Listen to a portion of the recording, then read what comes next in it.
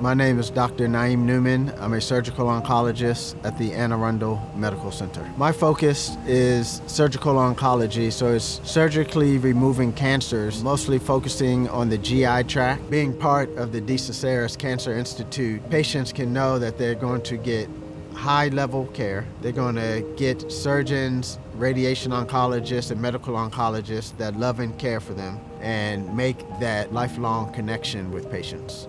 They're going to have a nurse navigator that will also be with them every step of the way along this journey and that will always be available to them should they need to call or should they have a question. I look forward to providing high level care to patients. That's what gets me out of bed each morning. I look forward to the hugs I get from patients that are so grateful for the care that they've received at Anne Arundel Medical Center.